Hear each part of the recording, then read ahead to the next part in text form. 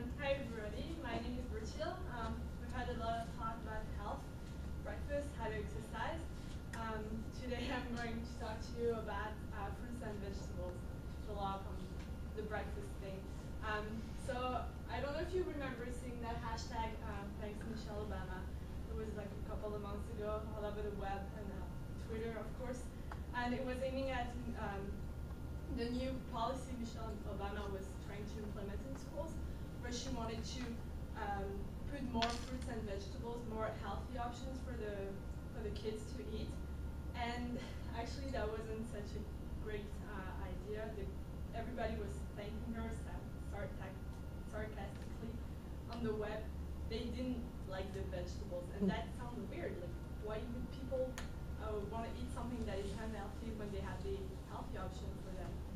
And so that's what I'm going to talk about to you. We have a huge problem of um, underconsumption of fruits and vegetables. So I want to explain to you what this problem is, what uh, are the reasons for this problem, and then I'm going to give you some tips to increase the, your consumption of fruits and vegetables.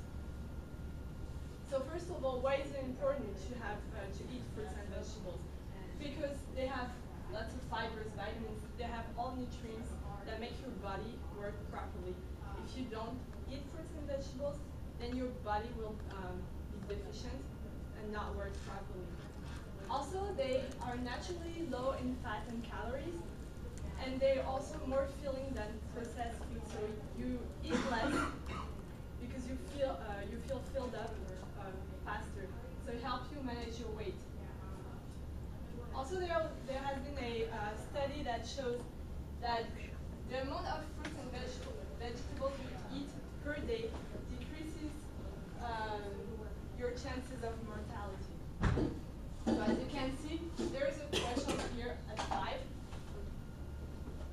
uh, meaning that after 5 um, fruits and vegetables uh, per day, you won't decrease your chance of mortality, but you have to reach that uh, target. So your target is five uh, fruits and vegetables per day.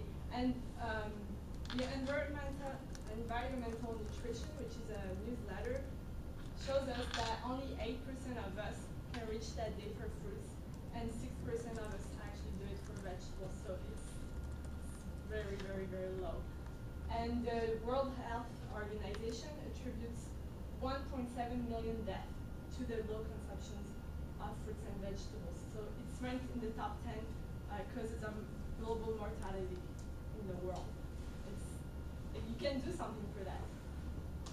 As you know, one of uh, three uh, American adults is obese. So I'm not going to talk too much into detail about that. But you know that obesity leads to a lot of disease and cancer and heart uh, strokes. So you want to avoid that, of course. Um, so now that you know why it's important to eat vegetables and fruits, uh, I want you to look at all these uh, statements and uh, raise your hand if you feel that you relate to those. So fruits and vegetables are too expensive. I cannot afford to buy them. Who agrees with that? No one? Um, Especially here. yeah, I agree. Uh, I need ideas about new ways to prepare fruits and vegetables. True. Fruits and vegetables are time consuming to purchase and prepare. and fruits and vegetables are not appetizing or I don't like them. The hand. okay, so um, the Produce for Better Health uh, Foundation actually conducted a study to understand why uh, consumers were behaving that way with fruits and vegetables. And they found a lot of reasons. I took the four uh, main. So the first one is actually the cost. 46% of the, the people who go shopping uh, think that fruits are too expensive, and 32 of them think that the vegetables are too expensive. So, you, Mohammed, you can relate to that here.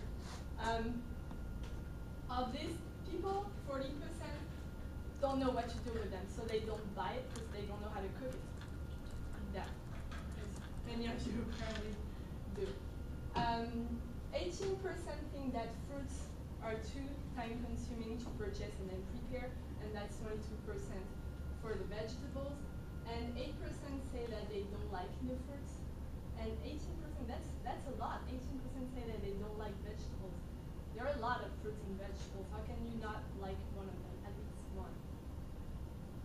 So here are some tips for you to like improve your conception. First of all, seasonality. Buy products that are seasonal. They will be less expensive, Mohammed. They will be uh, more more tasteful. If you eat strawberries in the winter, they didn't have any sun. So trust me, they're not good. Uh, think about variety. You don't have to eat to buy only fresh fruits or fresh vegetables. You can you can take uh, frozen fruits. You can take canned fruits. You can take um, even soup or uh, juice that counts as, as a portion of fruit or vegetable. And the more variety you take, take more like green and uh, oranges, and it, will give you different vitamins and different nutrients, so your body will have everything that it needs. Keep your food aside, keep it where you can see it. If you hide it, you, you're never going to eat it.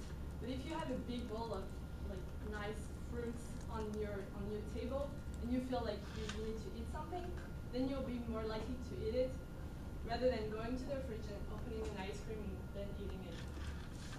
Spread all your the, spread the consumption throughout the day. Um, eat it for breakfast, lunch, dinner, and uh, and for your snacks. Don't try to eat all, all of them for one one lunch uh, one meal. That's not gonna gonna work. And finally, mix mix that up all. If you you put some slices of uh, of uh, apples in your in your put vegetables in your omelets. Um, what I like to do is make a, a, salad as a side dish for my lunch or my dinner. And I put like so many different vegetables and it has like different textures, different savors. It's really good and it brings more vegetables into my, my daily consumption. And finally, we have a lot of resources available on the internet. So I know like you try not to go too much on the internet and don't use too many apps. but I spent a lot of time on the first two, so choosemyplate.gov and uh, Kitchen Veggies More Matters. They are um, like um, non-governmental uh, organization, and they have a lot of information about the, the nutrition facts about what, how to cook, how to, how to um, store the fruits because sometimes you don't know how to store them and they go bad and then you're like, oh no, I'm not to buy them anymore because I, I, I don't have time to eat them. So if you go on these two, you have a lot of information about how to to um, take the most out of your uh, fruits. And I like the French one. I know it's uh, it's a little contest, but it, the French one, even if you don't speak really good French, it has this very nice um, um, factory where you can like set up how many guests you have and how many meals you want to plan, and it actually makes you the meals for the entire week, for example, and like the entire meals for lunch and dinner, and it gives you the detail of the recipes, and even does the grocery list. So you just and it, can go on your on your on your phone. So you just go to the supermarket, buy the the food, and then you're you're fine. So um, to conclude, I, um, I explained to you what were the, the advantages of having a, of eating fruits and vegetables. Uh, remember that they are good for you, they make you look good, and they make you feel good. So it's like it's so easy to to be healthy just by eating a little bit of uh, apples and five different fruits and vegetables per day. Um, and there's this old saying that say that an apple a day keeps the doctor away, so just try to, time that you do your shopping, just try to think about it. Thank you for your attention.